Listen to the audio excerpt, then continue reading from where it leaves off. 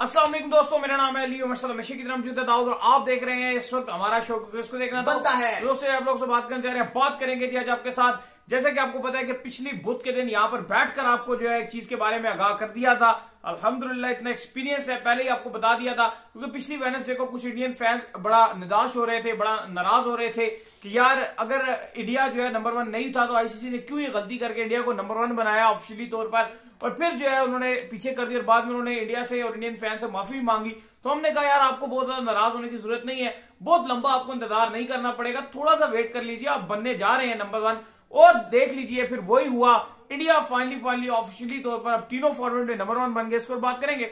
बात करेंगे कि इंडियन वुमेन्स भी अब सेमीफाइनल में पहुँच चुकी है। पाकिस्तान वुमेन्स वर्ल्ड कप से हो चुकी है बाहर। कुछ उसके ऊपर भी बात करेंगे। तो अगर आप हमारे चैनल पर नहीं और पहली बार आए तो चैनल को आदमी सब्सक्राइब करें और साथ के बैल तो बात का आगाज़ करते हैं नंबर खबर के साथ जो कि हमारे पास आ रही है। दोस्तों नंबर वन खबर आ रही है। चले पहले थोड़ी वुमेन्स के वजह से बात कर लेते हैं। तो वुमेन्स जो है पाकिस्तान की इस वर्ल्ड कप से बाहर हो चुकी है और इंडियन वुमेन्स जो है सेमीफाइनल में पहुँच चुकी है जो कि अब जुमेरात के दिन खेला जाएगा। इंडिया और ऑस्ट्रेलिया के दरमियान और इंडिया और ऑस्ट्रेलिया अगर मेंस की बात करें तो उधर भी बड़े रोले चल रहे हैं। वुमेन्स की बात करें तो वहाँ भी बड़े रोले चल गए हैं। देखिए दो सेमीफाइनलिस्ट जा दो सेमीफाइनल्स हैं उन दोनों की चार टीमें आ चुकी हैं। पहला सेमीफाइनल इंडिया और ऑस्ट्रेलिया का और दूसरा जो सेमीफाइनल है वो न्यूजीलैंड और इंग्लैंड के दरमियान खेला जाएगा। मज़े की बात बिल्कुल भी ये नहीं है और बहुत ही अफसोस की बात यह है कि हमारी वुमेन्स बाहर तो हुई है इस वर्ल्ड कप से लेकिन बहुत ही बुरी तरीके से बाहर हुई है क्योंकि जो कल मैच खेला गया था उसमें माशाल्लाह से हमारी वुमेन्स 114 रन से हारी है टी ट्वेंटी में वुमेन्स से। बहुत ही क्लासिकल हार मिली है निन्यानवे पर हमारी टीम बुक हुई है। और दूसरी तरफ़ पड़ोसी में अगर आप चले जाएँ कोई वो दिखने में हमारी जैसी वुमेन्स जैसी ही होती है इंडिया की भी वुमेन्स कोई खास फ़र्क नहीं होता कि हम कहें जी को कोई बहुत ही कोई डिफरेंट है। बिल्कुल हमारे जैसी एक जैसा कल्चर है एक जैसी वुमेन्स है। लेकिन नतीजे की अगर आप बात करें तो ज़मीन और आसमान का था। चलो मेंस में फिर भी अगर आप देखो तो क्वालिटी सम हाउ मेंटेन की जाती है। वही मेंस वाली क्वालिटी है ठीक है हम प्रेशर हैंडल नहीं कर पाते वो अलग चीज़ है। लेकिन वुमेन्स की अगर आप बात करते हो तो बहुत डिफरेंस आ जाता है। मतलब इंडियन की वुमेन्स अंडर 19 भी वर्ल्ड कप जीत गई फिर अगर अभी ये जो आपका हुआ था कॉमनवेल्थ हो गया, यहाँ भी फाइनल शाइनल तो खेलती ही रहती हैं। लेकिन हमारी वुमेन्स तो पहले पहले राउंड में ही बाहर होती हैं।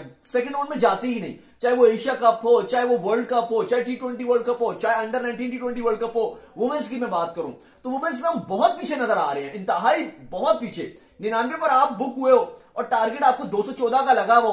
तो आप 114 रन से टी में आप हार रहे हो। तो बड़ा दुख होता है आपको क्योंकि आपकी वुमेन्स बिल्कुल उस तरह की परफॉर्मेंसेज नहीं दिखा रही, जो डिजर्व करते हैं। और ऐसा नहीं है कि आपकी वुमेन्स को कुछ कंपनसेट नहीं किया जाता, आपको पैसे कम मिलते हैं। ठीक है, जो नीचे वाली, अगर आप देखें जो अंडर 19 या इससे नीचे अंडर 16 की वुमेन्स की बात करें क्लब क्रिकेट अगर आप देखें, उस तरह की नहीं है। मैं मानता हूँ इंडिया से कंपैरिजन नहीं हो सकता। लेकिन जो आपकी इंटरनेशनल वुमेन्स खेल रही है मैचेस वो ठीक ठाक पैसे बनाती है पाकिस्तान के हिसाब से। बिल्कुल ऐसा ही है। ठीक है मैं इंडिया का कंपैरिजन नहीं कर रहा कि वो कितने बनाती है और हम कितने बनाते हैं वो फ़र्क है। वो इंडिया की ज़्यादा पैसे बनाती हैं।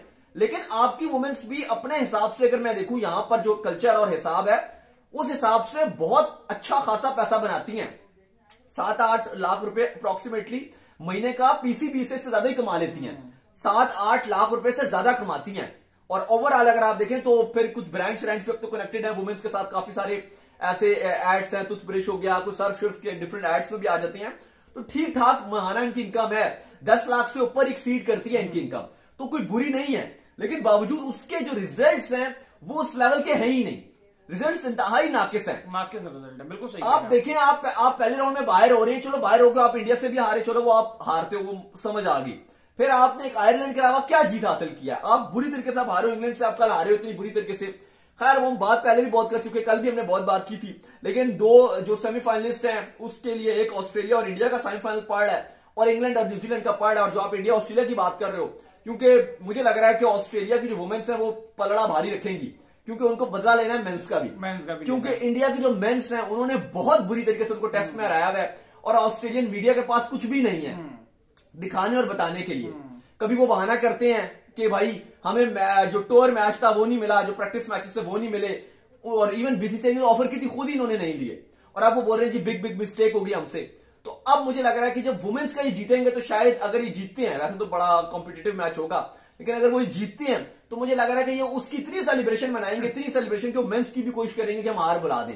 मुझे तो यही फील हो रहा है। लेकिन अब तेईस फैब को ये मैच है लेट्स सी कि क्या होता है। इंडियन वुमेन्स भी बड़े माहौल पे नज़र आ रही है, अच्छी परफॉर्मेंस दिखा रही हैं। ऑस्ट्रेलियंस भी अच्छी फॉर्म में नज़र आ रही हैं। पॉइंट टेबल में टॉप पर है। नाकाबले शिकस्त ने चार खेले थे। चारों जीते थे इन्होंने। क्योंकि इन्होंने न्यूजीलैंड को भी हराया श्रीलंका को भी हराया साउथ अफ्रीका को भी हराया बांग्लादेश को भी हराया ऑस्ट्रेलिया ने। अलबत्ता अगर इंडिया की बात करें तो इंडियन वुमेन्स खाली इंग्लैंड से आ रही हैं। बाकी तो ये सबको इन्होंने हराया है। बिल्कुल।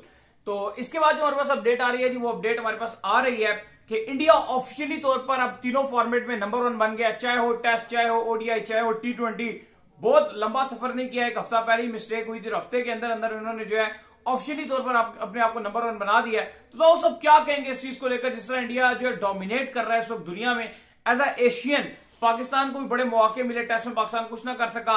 लेकिन इंडिया ने ना सिर्फ़ टेस्ट टी ट्वेंटी ओडीआई सब रैंकिंग अपने पास करके अपने आप को नंबर वन का खिताब दे दिया। देखो ओडीआई में आपके पास भी अपॉर्चुनिटी थी क्योंकि ओडीआई की अगर आप रैंकिंग देखो तो इतना फ़र्क नहीं है। सिर्फ़ दो दो एक एक पॉइंट के साथ रैंकिंग बन रही है। लाइक अगर मैं आपको ओडीआई की रैंकिंग बताऊँ तो अगर इंडिया नंबर वन एक सौ चौदह के साथ तो ऑस्ट्रेलिया नंबर दो पे एक सौ बारह के साथ। फिर न्यूजीलैंड और इंग्लैंड दोनों के 111 11 पॉइंट्स और फिर पाकिस्तान अब 106 पे चला गया। इसलिए कि न्यूजीलैंड से यह हार गया था। लेकिन पाकिस्तान भी, अगर वो जीत जाता सीरीज़ तो पाकिस्तान भी नंबर वन बन सकता था। हमने वो वेल नहीं की वो जो हमारे पास अपॉर्चुनिटी थी। वहीं जब बात बारी आई आपकी इंडिया के पास, और न्यूजीलैंड जब इंडिया गया उन्होंने हरा दिया, हरा दिया। और ना सिर्फ़ हराया तो अपॉर्चुनिटी भी उनके पास नंबर वन की थी वो नंबर वन बन गए। टी ट्वेंटी में इंडिया ऑलरेडी नंबर वन था। और टेस्ट में उनके पास फिर एक मौका आया वर्ल्ड चैंपियन ऑस्ट्रेलिया जो टेस्ट में नंबर वन डब्ल्यू में नंबर वन उनके पास मौका था कि ऑस्ट्रेलिया को हराते और तारीख रकम कर देते कि टी ट्वेंटी की नंबर वन ओडिया की नंबर वन थे ये। टेस्ट में भी नंबर वन बन जाते। और उन्होंने वही किया।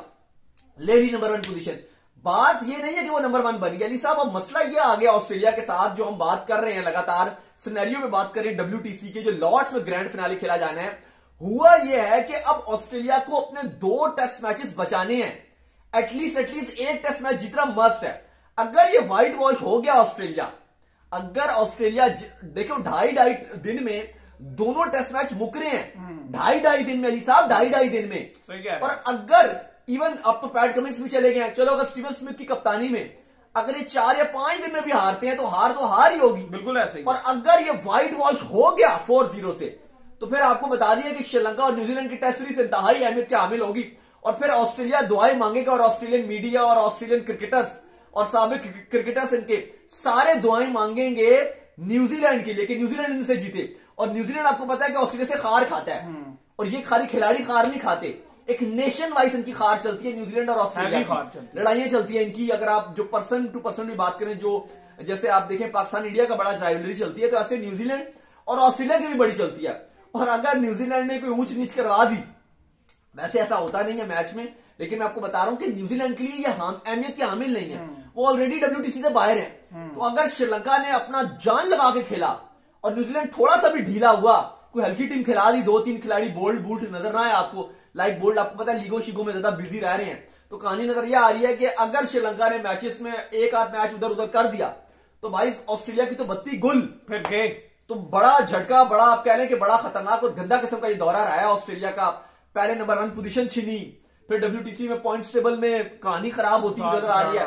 और अब जो ग्रैंड फिनाले में पहली टीम ये नज़र आ रही थी जब से ग्रैंड ये डब्ल्यू टी की साइकिल शुरू हुई है तो हम एक टीम तो बताते थे कि वो ऑस्ट्रेलिया है। हर कोई जगह सोशल मीडिया में फैंस में टीवी पर एक टीम थी कि ऑस्ट्रेलिया तो जा रही है भाई जो मर्ज़ी करो। अब आप देखो अपॉर्चुनिटी तो पाकिस्तान के पास भी थी। और अली साहब इससे बेहतर मौका पाकिस्तान को कभी मिलना भी नहीं था। कि हल्के हल्के मैचेस आपको मिले थे हल्के हल्के दौरे थे श्रीलंका बांग्लादेश और वेस्ट इंडीज के आपने दौरे करने थे। अलबत् बाबर आज़म की कप्तानी में वो अचीव नहीं हुआ। अब यही है ना कि शोएब अख्तर अब कल आपको पता है बड़ा उनके बयान चल रहे थे बड़ा उन्होंने क्रिटिसिज्म किया है पाकिस्तान टीम के ऊपर भी और बाबर के ऊपर स्पेशली किया है। कि बाबर को जिस तरीके से अपनी ग्रूमिंग करनी चाहिए थी वो उस तरह से ग्रूमिंग हुई नहीं है। हम्म। अब आप टेस्ट में ही देख लो बाबर का। वो अपनी वो ग्यारह नहीं बना सके और ना वो स्क्वाड बना सके जो चैंपियन स्क्वाड है। घर पर यकीन मानिए बांग्लादेश भी स्ट्रांग है। घर में आप आज अब अफ़गानिस्तान में क्रिकेट नहीं होता। लेकिन अगर आप अफ़गानिस्तान चले जाओ क्रिकेट खेलने के लिए तो वहाँ पे आपको पता चलेगा कि अफ़गानिस्तान आपको जीतने नहीं देगी क्रिकेट देगी भाई। तो अगर पाकिस्तान और बाबर आज़म हमें घर पर नहीं जिता सके हम्म। तो ये हमें हर्ट करती है बात। और चलो जितवाना अलग बात है लेकिन न्यूजीलैंड के साथ हमने खेला हमने ड्रॉ कर दिया हमने बड़ा खुशियाँ भी बनाई कि चलो हमने ड्रॉ कर दिया। लेकिन वही जब आपके कप्तान बाबर आज़म इंग्लैंड के साथ खेल रहे थे तो भाई साहब थ्री ज़ीरो से आप वाइट वॉश हुए और पिछहत्तर साल तारीख की वो बदतरीन हमारी शिकस्त थी। तो आप जो भी कहो बेशक मुझे पता है कि बाबर के फैंस हैं वो हमें गालियाँ भी देती हैं अगर हम सच बात करते हैं हमने कभी भी बाबर आज़म की बैटिंग कैपेबिलिटीज को उस तरह से आवाज़ नहीं उठाते। इवन वो टी ट्वेंटी में हमें हम बात करते हैं कि वो थोड़ा धीरे खेलते हैं लेकिन वो बात अलग है हम उन्हें पाकिस्तान का बेस्ट बैट्समैन मानते हैं। लेकिन जब कप्तानी की बात आती है तो ये बात माननी पड़ेगी। कप्तानी में बहुत फ्लॉस है बाबर आज़म की वो डिसीज़न ही सही नहीं लेते हैं। इवन रिजवान उनसे बहुत अच्छे कप्तान है। नहीं आप देखिए उनकी डिसीज़न मेकिंग रिजवान की बहुत अच्छी है। आसमान का फ़र्क है। बहुत अच्छी है। लेकिन बाबर टोटली टेस्ट में हमें मायूस करते हैं और यही वजह है कि हमें उनकी की आदत में हम अच्छा नहीं कर रहे। हम्म। अगर आप टी ट्वेंटी वर्ल्ड कप की लोग एग्ज़ाम्पल देते हैं तो भाई वो टी ट्वेंटी वर्ल्ड कप की कुछ भी नहीं है। हम्म। ऑस्ट्रेलिया खाली एक मैच हारा था और वो बाहर हो गया। आप जिम्बाब्वे से हार गए इंडिया से हार गए आप फिर भी फाइनल खेल गए। वो टी ट्वेंटी का शेड्यूल ही ऐसा होता है कि एक मैच इधर उधर हुआ एक बैट्समैन जिता दे कहानी इधर चली गई। बिल्कुल। मेन आपके कप्तान बाबर आज़म टेस्ट में या इवन टी ट्वेंटी में भी अगर आप देखें क्लिंच मूवमेंट पर जब बाबर के ऊपर बात आई है उन्होंने गलत डिसीज़न लिए हैं। बिल्कुल ऐसा ही है। तो उम्मीद करते हैं जी आज का हमारा शो आपको आएगा पसंद आया पसंद वीडियो कीजिए लाइक चैनल कीजिए सब्सक्राइब साथ के बेल आइकन को बजाइए और एक और काम कर लीजिए वही कर लीजिए। हमारे फेसबुक पेज को फॉलो कर लीजिए लिंक डिस्क्रिप्शन में अल्लाह हाफिज